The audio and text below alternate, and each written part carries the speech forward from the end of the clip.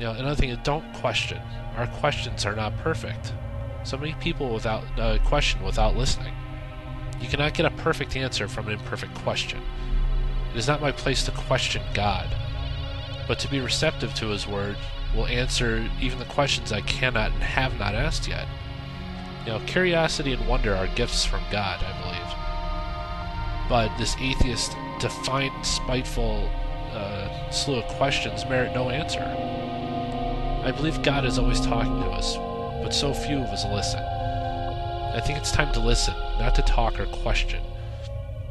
To expect answers without question seems really obscure. I know that, but that applies when talking with man. To converse with the Almighty is to listen. So yeah, I was I was raised as a Christian. I did everything that a Christian child should do. I prayed. I prayed every evening, I guess, when I went to bed. Um, my parents would always kiss me on the cheek with a God bless, and uh, I prayed, or at least I tried to pray. But even at a very young age, and I remember it very clearly, I didn't feel anything. I would talk to God in my room, and I would feel nothing, just nothing.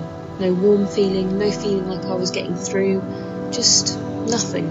And I asked other people, well, how do you pray? Am I, am I doing it wrong? And people would say, no, you just you just talk to God. That's that's how you do it. That's how you get your connection. But it didn't work for me. And as I got slightly older, so I'm probably talking about kind of eight, nine, ten, I I thought there was something wrong with me.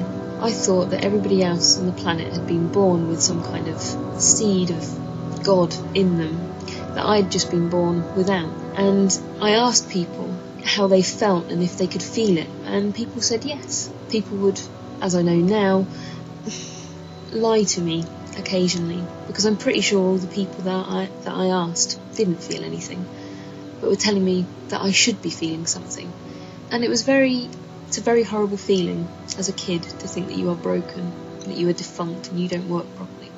And that's how I felt for a very long time. In the laboratory, we have reproduced every aspect of the God experience, every essence, every component of it, from the rising sensation to the feelings of ecstasy, to the feelings of a sensed presence, to the feelings that you're at one with the universe. We can do that experimentally. What we have found is that individuals who show a temporal lobe sensitivity and who are very religious, in that setting, they will have a religious experience. We can generate the sensed presence, which is defined as God. It is not my place to question God. We're getting tantalizingly close to a comprehensive cognitive neuroscience of religious belief, robust theories, empirical evidence. But this atheist, defiant, and spiteful uh, slew of questions merit no answer. And it deepens the conflict between uh, science and religion. Not just the science of evolutionary biology, which Darwin started, but the science of the mind, the evolutionary cognitive neuroscience, which Darwin also started. And it deepens that conflict. And it is not long before any psychology textbook, for a psychology textbook to be current and up to date, it will have to include this cognitive neuroscience of religion. And it's not going to be long before a John Scopes or a Jane Scopes moves to teach cognitive neuroscience of religion in a high school class in a public school. And you and I know that there will then be litigation.